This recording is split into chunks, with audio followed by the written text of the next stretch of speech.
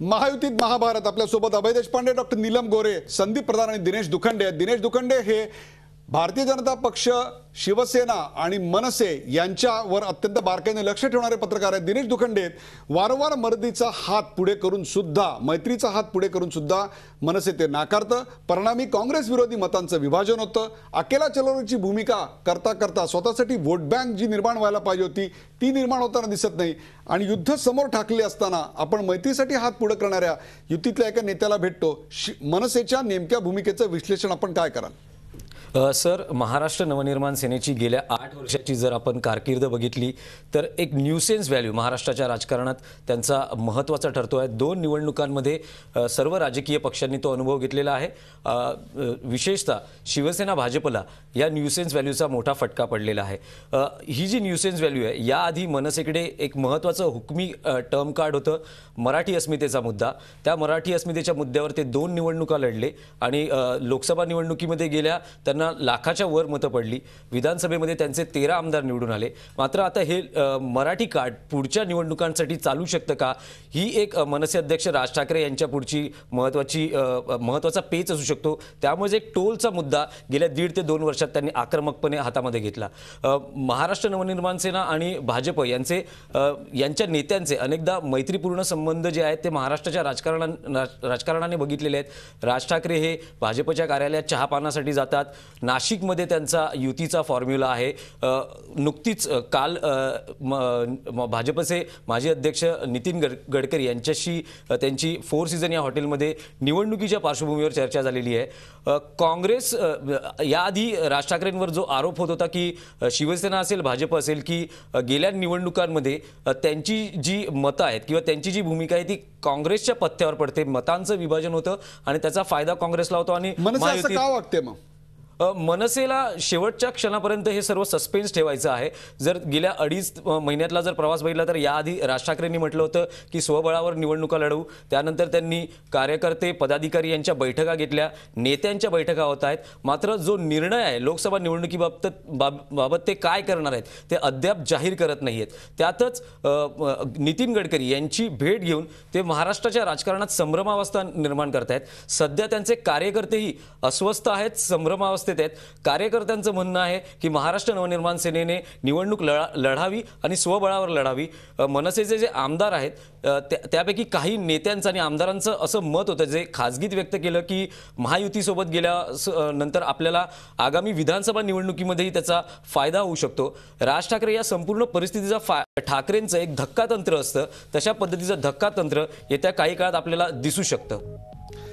ठाकरे यांचं धक्कातंत्र असू शकतं परंतु निलमताई या ठिकाणी महत्त्वाचा मुद्दा येतो तो म्हणजे विधान परिषदेच्या चौथ्या जागेचा. तीन जागा तर स्पष्टपणे येऊ शकतात त्याच्यामध्ये एक आपली आहे ना राहुल नार्वेकरांची आहे आणि विनोद तावडेंची आहे. परंतु चौथी जागा निवडून येण्याकरता मात्रची जी गणित आहेत त्याचा कुठेतरी रेफरन्स या सगळ्या बैठकीला या सगळ्या राजकारणाला आहे असं आपल्याला वाटतं का? मला काही सांगता येणार नाही या विषयावरती. याचं कारण असं आहे की सगळे फॉर्म भरल्यानंतर दहा तारखेला चित्र स्पष्ट होईल. किती उमेदवार कशा प्रकारे येणार आहेत ते त्याच्यानंतर मग त्याच्यावरती बोलता येईल.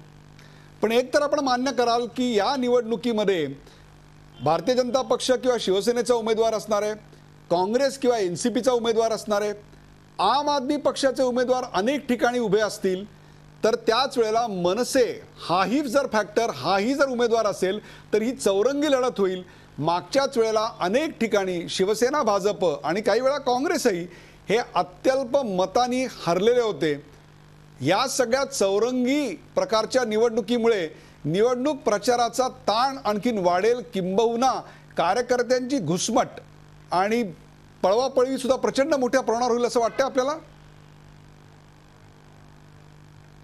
मला असं वाटत नाही. याचं कारण असं की मी सुद्धा आता तुम्ही तर अभ्यासक आहात पण गेल्या चार पाच निवडणुका मी पण जवळून पाहिलेल्या आहेत. आणि त्याच्यामध्ये एक पूर्वी तुम्हाला लक्षात असेल की रिपब्लिकन पक्ष दोन गट आर पी आय आठवले आणि प्रकाशजी आंबेडकर यांचे मोठ्या लढती जवळजवळ चाळीस पन्नास मतदारसंघामध्ये असायचे. म्हणजे मी तुम्हाला पंच्याऐंशी नव्वद या निवडणुकांच्या बद्दलचं बोलते. नंतरच्या चार निवडणुकांमध्ये आपल्याला दिसते की ब्याण्णव त्र्याण्णव नंतर दोन्ही ह्या ज्या मोठ्या आघाड्या आहेत राष्ट्रीय लोकशाही आघाडी आणि यू पी ए यांची जागा वाढत वाढत गेली. जसं द्विध्रुवीकरण झालं तसं पंच्याण्णव नंतर.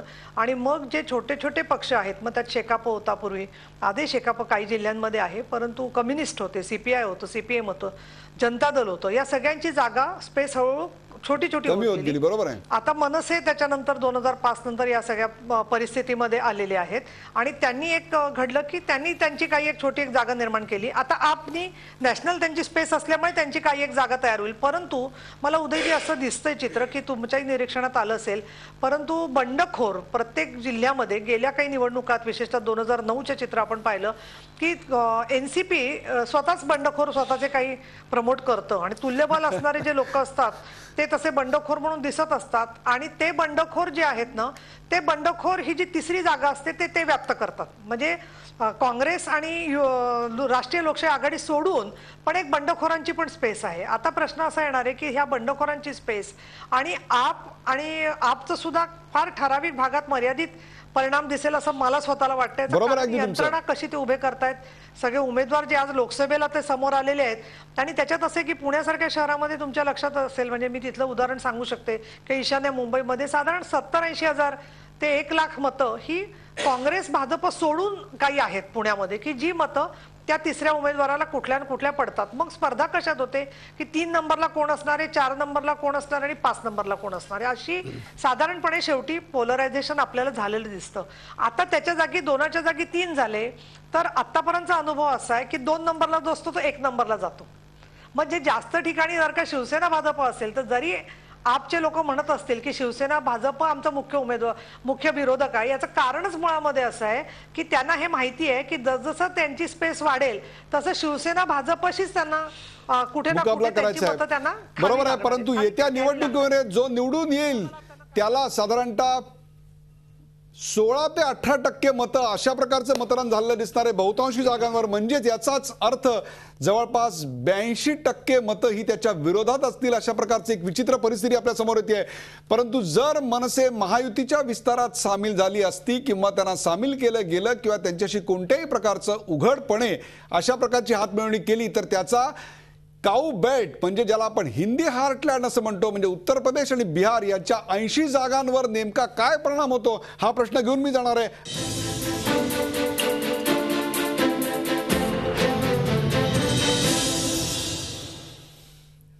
महायुतीत महाभारत. मनसेसारख्या प्रादेशिक असणाऱ्या पक्षानं परप्रांत्यांच्या विरोधात प्रचंड मोठ्या प्रमाणात आंदोलनं केली. ती काही आंदोलनं हिंसक होती. काही वेळा महाराष्ट्र बंदची घोषणा त्यामुळे झाली होती. या सगळ्यामुळं आत्ता जर मनसेकडे मर्दीचा हात केला किंवा मैत्रीचा हात केला तर त्याचा हिंदीमधील हिंदी भाषिक पट्ट्यामधील जवळपास एकशे वीस जागांवर खूप मोठ्या प्रमाणावर परिणाम होऊ शकतो का? अभय देशपांडे. नाही मला वाटतं की आत्ताची त्यांचे जे प प्रयत्न सुरू आहेत ते फार मर्यादित स्वरूपाचे आहेत. मग अशी संदीप म्हणाला तसं विधान परिषदेचा एक त्याला अँगल असेल. पण त्यापेक्षा मला महत्त्वाचं वाटतंय की जे महापालिका निवडणुकींच्या वेळेस जे टॅक्टिकल अंडरस्टँडिंग केलं होतं भाजपने आणि मनसेने दोघंही जाहीरपणे मान्य करणार नाहीत पण ते झालं होतं की किमान जिथे आमचे प्रबळ उमेदवार आहेत तिथे उमेदवार तुम्ही देऊ नका. द्यायचाच असेल तर आम्हाला हवा तसा द्या. तसाच ह्या आताही प्रयत्न झाला असेल जाहीरपणे मान्य करता येत नाही म्हणून मला वाटतं हा त्याला बेगडी मुलामा दिला असेल की काँग्रेस विरोधी मतांचं विभागणी टाळायची वगैरे ते सगळं झालं असेल. त्याच्यामुळे हा परिणाम तो असेल तेवढा मर्यादित स्वरूपाचा असेल आत्ता. आणि जर मनसेला आज बरोबर घेतला आज भाजपाचा आज भाजपा सत्तेवर येण्याचा प्रयत्न करते केंद्रात त्यांचा सर्वात मोठा स्टेक जो आहे तो काऊ बेल्टमध्ये उत्तर प्रदेश आणि बिहार या दोन राज्यामध्ये तुम्ही पाऊंडशेच्या पुढे जात नाही. तोपर्यंत तुम्ही केंद्रातल्या सत्तेचं स्वप्नच बघू शकत नाही. कारण विंध्याचलाच्या खाली ज्या जागा आहेत म्हणजे आंध्र प्रदेश कर्नाटका तमिळनाडू आणि केरळ या एकशे तीस एकशे चाळीस जागांमध्ये पंधराच्या वरती जागा अगदी बरोबर आहे. त्यामुळे मोदींनी सुद्धा आपण घेतलं की अमित शहाना मुद्दामून उत्तर प्रदेशात त्यांनी नियुक्त केलं की जोपर्यंत तुम्ही उत्तर प्रदेश आणि बिहार बिहारमध्ये सुद्धा पासवांना त्यांनी बरोबर घेतलं तिथे त्यांना जास्तीत जास्त जागा निवडून आणायचा त्यांचा प्रयत्न आहे. आणि अशा परिस्थितीमध्ये मनसेला बरोबर घेऊन मला वाटतं की भाजपाचे केंद्रीय नेते याला काही परवानगी देणार नाही म्हणजे आता ती वेळ खरं तर टळूनच गेलेली आहे. त्यामुळे चर्चा करण्यात काही अर्थ नाही. मला मला वाटत नाही असं होईल. मला दिनेश दुखंडे याला एक प्रश्न विचारायचा. दिनेशजी मला तुम्ही सांगा की एक प्रकारे देशव्यापी भूमिका नसणं किंवा देशव्यापी पर्स्पेक्टिव्ह नसणं ही प्रादेशिक पक्षांची होणारी अलीकडच्या काळातली कुचंबणा आहे आणि त्याचाच परिणाम आत्ता मनसेला भोगावा लागतोय? अ, सर आता एकूणच जर महाराष्ट्र नवनिर्माण सेनेची परिस्थिती बघितली तर राज ठाकरे यांनी निवडणुकीसंदर्भातले आपले पत्ते उघड केलेले नाही आहेत त्यांनी जे त्यांचं काम आहे ते अगदी व्यवस्थित केलेलं आहे. महायुतीमध्ये त्यांनी अस्वस्थता निर्माण केलेली आहे. मात्र त्यांना याकडेही लक्ष ठेवावं लागेल. ते प्रा ते स्वतः एक प्रादेशिक पक्ष आहेत. त्यांनी नेहमी अशी घोषणा केलेली आहे की मी महाराष्ट्राचा महाराष्ट्र माझा. महाराष्ट्राच्या बाहेर माझी सीमा नाही मला महाराष्ट्रातच सर्व करायचं आहे. तर जे त्यांना महाराष्ट्रात करावं लागेल ते कार्यकर्त्यांच्या जीवावर करावं लागेल. जर त्यांनी अ, नितीन गडकरी यांच्या आवाहनाला प्रतिसाद दिला आणि समजा असा काही धाडसी निर्णय घेतला तर तो कार्यकर्त्यांना पटेल का? या बाबतीत कार्यकर्त्यांचं म्हणणं काय आहे? कारण कार्यकर्त्यांचा आग्रह आहे की निवडणूक लढवली गेली पाहिजे. कारण राजकीय पक्षांचा राजकारणात आत्मा हा निवडणुकाच असतो आणि निवडणुकांमध्येच तुम्हाला सर्व जे तुमची जी पक्षाची ताकद आहे ती कळत असते आणि त्या ताकदीवर तुम्हाला पुढची पावलं किंवा पुढचे धोरणात्मक निर्णय घ्यावे लागतात. पुढच्या निवडणुकांसाठीची स्ट्रॅटेजी करावी लागते. आज जर निवडणुकांच्या काळामध्ये महाराष्ट्र नवनिर्माण सेनेसारखा महत्त्वाचा पक्ष का निवडणूक न लढवता राहिला तर त्यांचे कार्यकर्ते नुसतेच कामाशिवाय घरी राहिले तर विविध पद्धतीची प्रलोभनं आमिष त्यांना इतर पक्षांकडून दाखवली निवडणूक लढवायची शक्यता खूप जास्त वाटते याच्यात एक आणखी एक असू शकतं की आता जर आपलं उपद्रव मूल्य कमीच झालंय तर ही निवडणूक लढवून ते सिद्ध करण्यापेक्षा आपली झाकली मूठ तशीच राहावी असा प्रयत्न असू यामागे असू शकतो. आणि त्याच तेच मला- बेल आउट मला- मला पॅकेज घेऊन आहे. असेल मी शेवट निलमताईंका जाणार पण आधी जातो संदीप प्रधान यांच्याकडे. संदीप प्रधान या महायुतीतल्या महाभारताचा शेवट काय होईल असं वाटतं आपल्याला? नाही निश्चित याच्यातला एक महत्त्वाचा मुद्दा आहे की ह्या महाभारतामधली जी जी पात्र आहेत त्यांचं हे महाभारतातली नेमकी भूमिका काय? म्हणजे समजा गडकरी हे नाराज असल्यामुळे आणि मी मगाशी म्हटलं तसं त्या अर्थाने विधान परिषदेची नाराजी अशा ह्याच्यातून जर ही सगळी भूमिका करत असत्याल तर मग निश्चितच असं आहे की त्याचा परिणाम भाजपसाठी अनुकूल होणार नाही. पण जसं अभय म्हणाला आणि मी मागे सुद्धा एकदा ह्याच का आपल्या रोखठोकमध्ये बोललो होतो की भाजप आणि कुठेतरी मनसेमध्ये एक अंडरस्टँडिंग महापालिकेच्या वेळी झालं होतं. तोच जर उद्देश असेल तर मला असं वाटतं की मग ही दुहेरी भूमिका आहे की एकीकडे मुंडेंना या महाभारतामध्ये शिवसेनेच्या बरोबर राहण्याची भूमिका दिली आणि त्याचवेळी मनसेला आपल्याकडे अनुकूल करून भाजपच्या जागा मात्र सिक्युअर करायच्या ही भूमिका गडकरींना दिलेली आहे. ही भूमिका असू शकते. त्यामुळे या महाभारतातली ही पात्र नेमक्या कुठल्या उद्देशाने हे सगळं करतायत हे जेव्हा स्पष्ट होईल त्याच वेळेला भारतीय राजकारणाचे रंग कसे? या कार्यक्रमात उलगडले जात आहेत ते बघा शेवटचा प्रश्न घेऊन जातो निलमताईंकडे निलमताई या महाभारताचा युतीतल्या महायुतीतल्या महाभारताचा नेमका कसा शेवट व्हावा असं आपल्याला वाटतं?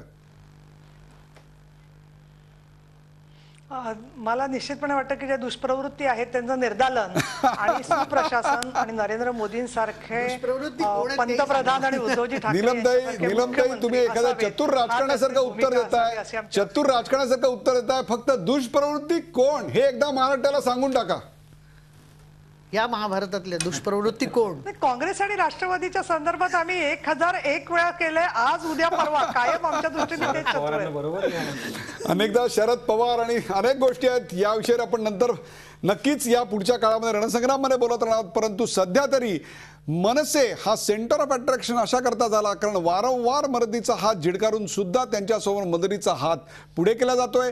एकीकडे मुंडे महायुतीला सांभाळतायत तर दुसरीकडे गडकरी आपल्या पद्धतीनं युतीच्या बाहेर असलेल्या मनसेला स्वतःकडे ओढायचा प्रयत्न करतायत. महाभारताच्या पटलावर युद्ध समोर ठाकलेलं असताना युद्धभेरी वाजू लागलेल्या असताना त्याच वेळा पांचजन्य फुकला जात असताना सुद्धा एकीकडे कुठेतरी पडद्या आड परंतु पत्रकारांना कळेल अशा पद्धतीनं अनेकदा अनेक गोष्टी सांगितल्या जात असतात. अशा भेटी होत असतात. त्या भेटींमागची नेमकी कारण मीमांसा आणि भूमिका हीच स्पष्ट करणं हा या कार्यक्रमाचा हेतू होता. जाता एक अत्यंत महत्त्वाचं सुवचन. एकाच वेळी तुम्ही थंड आणि गरम असं काहीही करू शकत नाही. तुम्हाला एकदा ठरवावं लागतं तुम्हाला थंड प्यायचं आहे का गरम प्यायचं आहे बघा काय कळलं तर. या कार्यक्रमात सहभागी झाल्याबद्दल चारी मान्यवरांचे आभार. ताज्या बातम्यांसाठी पाहत राहा झी चोवीस तास. राहा एक पाऊल पुढे. झी चोवीस तास. रहा एक पाऊल पुढे.